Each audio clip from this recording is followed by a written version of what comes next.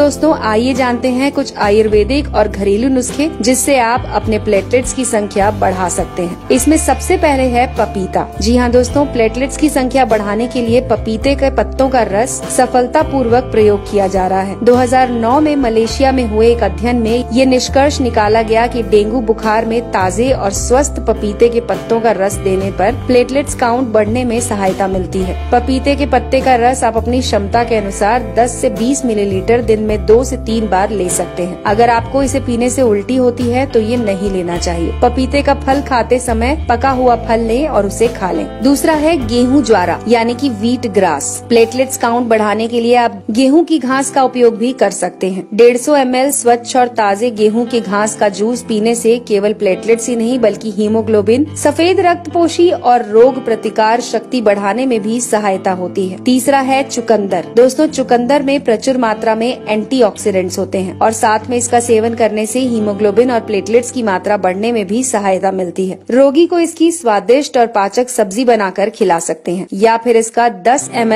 ताज़ा जूस रोगी को दिन में तीन बार पिला सकते हैं। चौथा तरीका है कद्दू, यानी कि पंपकिन कद्दू में प्रचुर मात्रा में विटामिन के होता है। प्लेटलेट की तरह विटामिन के भी शरीर में रक्त स्त्राव होने पर खून को जमाने का काम करता है। आप रोगी को कद्दू की सब्ज़ी बनाकर दे सकते हैं। फिर रोज़ाना 150 एम कद्दू का रस एक चम्मच शहद मिलाकर भी पिला सकते हैं। पांचवा तरीका है गिलोय। दोस्तों, गिलोय का रस प्लेटलेट्स बढ़ाने में बहुत अहम रोल अदा करता है। इसे लेने का तरीका है कि 10 गिलोय की बेल के टुकड़े तोड़कर उसे 150 से 2 लीटर पानी में उबालें और उसमें पाँच से सात तुलसी के पत्ते थोड़ा सा अदरक और दो चुटकी अजवाइन डालकर तब तक उबालें जब तक वो पानी आधा न रह जाए। इसके बाद इसे ठंडा करके, गुनगुना करके रोगी को खाली पेट देने से चमत्कारी लाभ मिलते हैं। गिलोय का रस लेने के 30 मिनट तक रोगी को कुछ भी ना दें। अगला तरीका है कीवी। कीवी फल में प्रचुर मात्रा में विटामिन सी, ई e और पॉलीफेनॉल होता है। रोज़ाना एक कीवी सुबह और शाम खाने से प्लेटलेट की संख्या तेज़ी से बढ़ना शुरू होती है। कीवी फल खाने से कोलेस्ट्रॉल भी कंट्रोल में रहता है। इसके बाद है दोस्तों, अनार। अनार एक बेहद पौष्टिक फल है, इसमें आयरन की मात्रा प्रचुर होती है। ये हीमोग्लोबिन और प्लेटलेट की मात्रा बढ़ाने में मदद करता है। आप रोगी को अनार के दाने खिला सकते हैं। इसे खाने से गैस भी नहीं बनती और रोगी का पाचन भी सुधरता है। अगर अनार का जूस देना है तो इसे घर पर ही तैयार करें और उसके बाद डेंगू से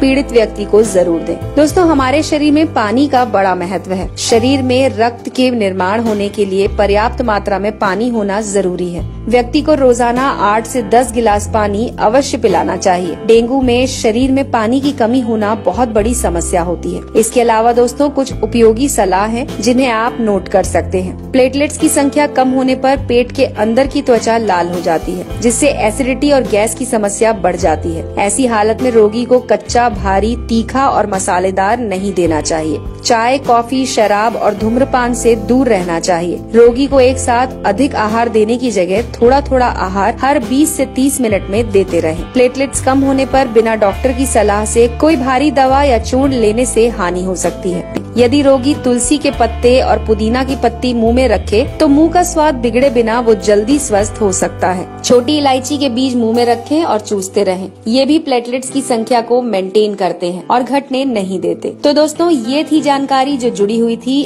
आपके स्वास्थ्य से। अगर आपको हमारी ये जानकारी पसंद आई हो तो इसे लाइक करके ज़्यादा से ज़्यादा लोगों के साथ शेयर करें।